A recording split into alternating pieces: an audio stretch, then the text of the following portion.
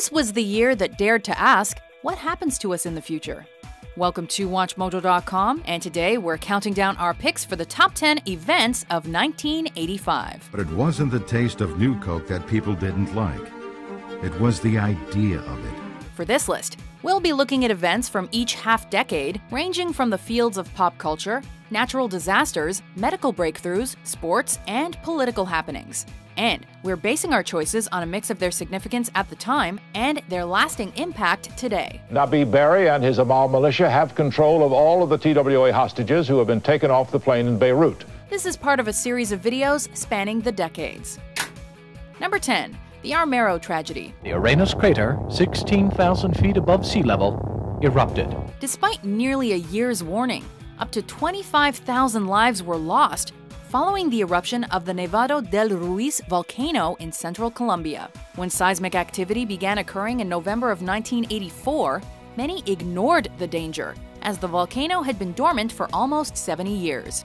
When disaster finally did strike in 1985, the extent of the eruption initially went unnoticed due to a storm.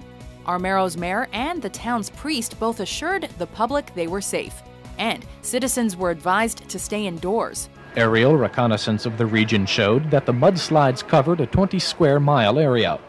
85% of Armero had vanished. However, the eruption actually triggered lava induced mud and landslides. But since these took a few hours to reach Armero, the unfortunate truth is that much of the town could have evacuated had they been adequately warned. Number 9 the sinking of the Rainbow Warrior. Waitemata Harbour, July the 7th, 1985. The Rainbow Warrior is welcomed by a flotilla of small boats.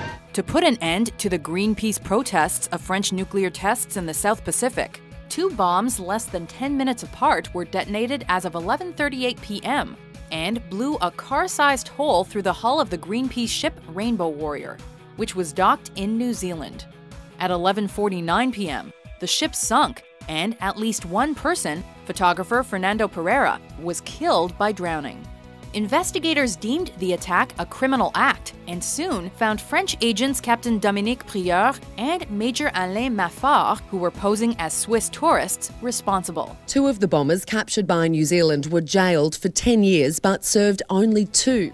Although attempts were made to deny and even cover up the incident, the French government was eventually forced to pay Greenpeace over $8 million in compensation. My family and I pretty much accepted what happened in 85, but that doesn't mean that we're gonna forgive and forget. Number 8 the professional debut of Mike Tyson. Mike Tyson was like the hottest up and coming fighter that we had seen since the uh, young Cassius Clay. At 18 years of age and at a muscular 214 pounds, Mike Tyson made his professional boxing debut against heavyweight Hector Mercedes. In what would become typical fashion for him, the upstart defeated Mercedes by TKO in a mere 107 seconds. Trained by Cus Tyson relied on a peekaboo technique and sheer intimidation, which proved to be as effective as his right hook, right uppercut combo. This is as bad as I've ever seen Donnie Long look, but and give Tyson credit. That's it. it. Wow. Tyson would go on to fight 14 more times in 1985, winning all 14 and earning the heavyweight title in 1986 while Mercedes would retire in 1995 with a 1 and 10 record. Dan Halpin, I guess, is the only man, and this one may not go much longer as a crushing right hand sends Alderson down. Number 7. The North American launch of the NES. The Nintendo action set, including the control deck with double game pack and Zapper light gun for just $99.99 at Toys R Us. By 1985, the gaming market in North America was all but dead. So, it's no surprise that despite strong sales in Japan, retailers were hesitant to stock the newfangled Nintendo Entertainment System. Nintendo was undeterred, however, and opted for a small launch in New York City, the toughest market they could think of, and separated the brand from the pack by banking on newbie friendly jargon, game accurate box artwork, and innovative gadgets, such as the Zapper while offering stores a no risk stocking policy. Nintendo's efforts paid off, and by the end of 1986, console sales had crossed 1 million units.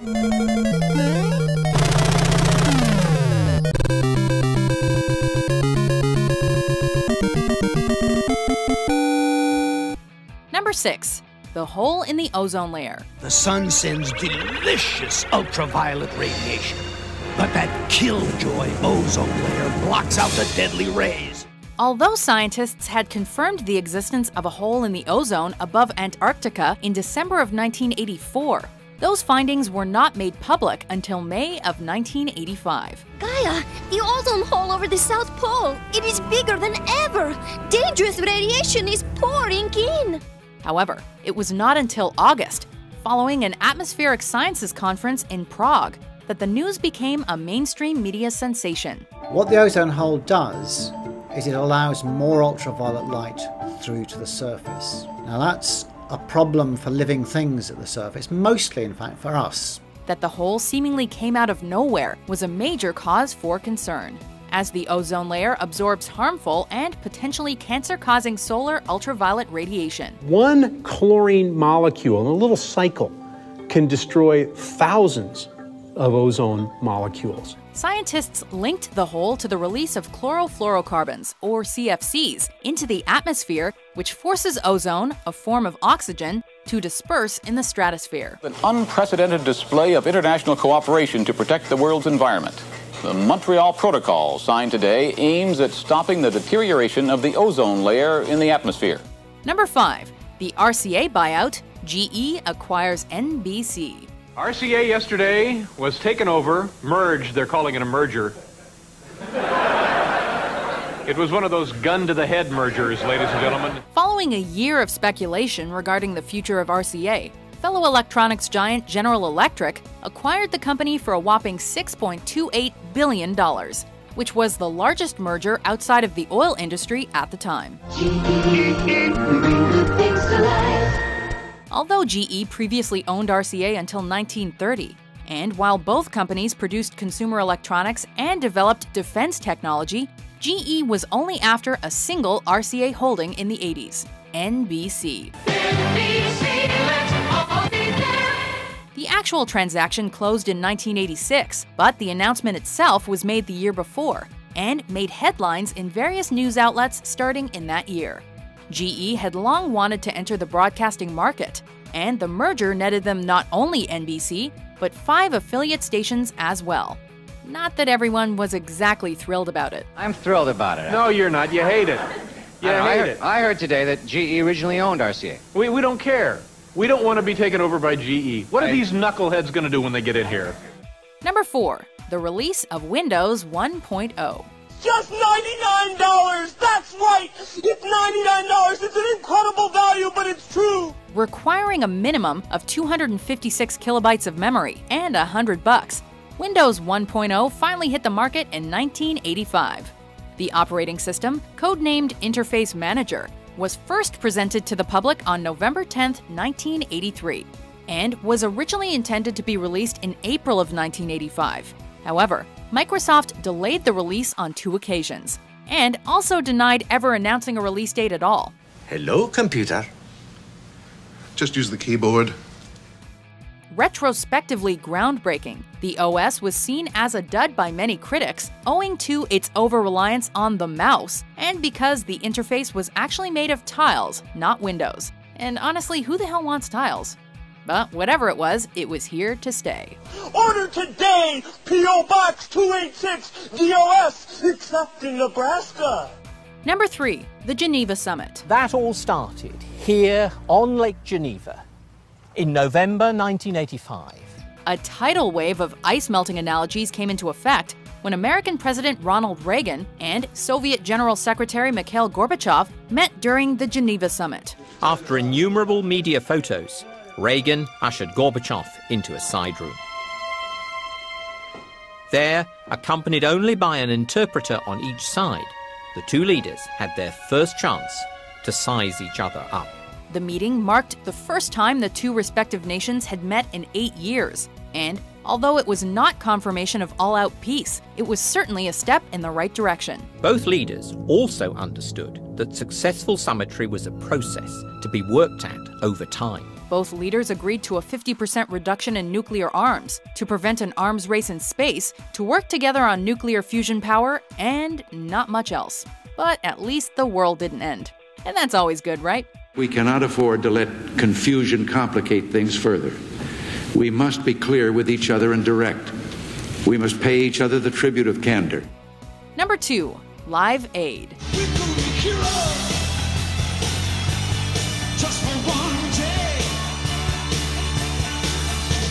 Viewed by 1.9 billion people in 150 countries and utilizing 13 satellites, Live Aid ultimately raised over $125 million in aid for famine stricken Ethiopia.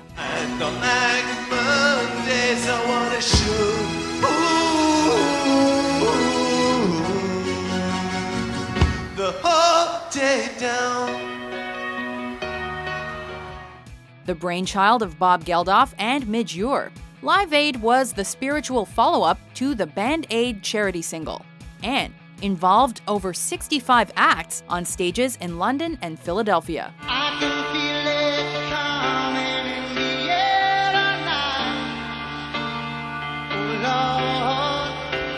Musically, the star of the day was Phil Collins, who played both venues and pulled triple duty as a solo artist and drummer for both Eric Clapton and Led Zeppelin. While Bono literally saved a woman's life, and Queen gave the performance of their career.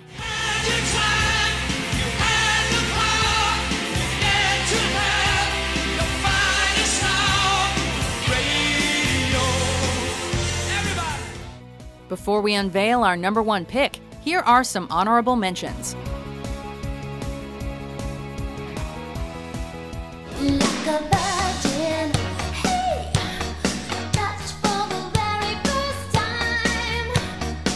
Are you telling me that you built a time machine? Out of a DeLorean? The way I see it, if you're gonna build a time machine into a car, why not do it with some style? Until this photograph, for 73 years, what happened when the Titanic hit bottom had been a mystery.